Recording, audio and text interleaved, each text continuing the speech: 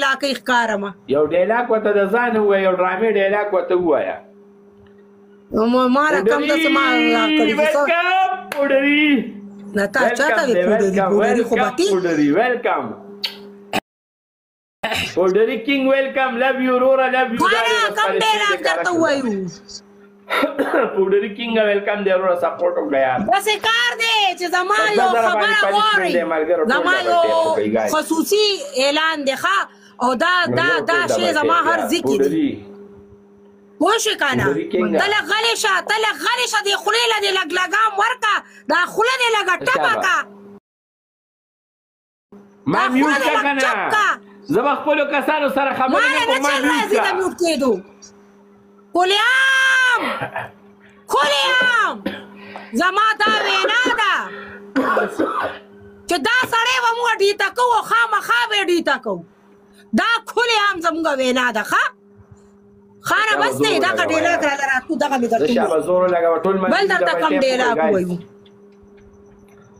ټول ګایز ډبل ټیپ کوي زور دې دا خان زور ولګي